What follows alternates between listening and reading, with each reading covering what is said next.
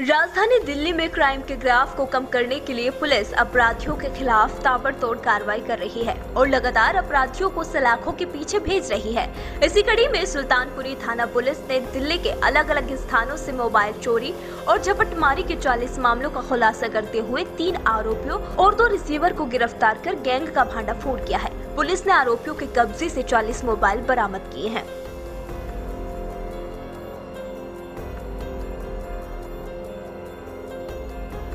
दरअसल सुल्तानपुरी थाने में तैनात हेड कांस्टेबल सेवाराम को गैंग के बारे में सूचना मिली थी, जिसके बाद एसीपी सुल्तानपुरी की टीम ने आरोपियों को गिरफ़्तार किया।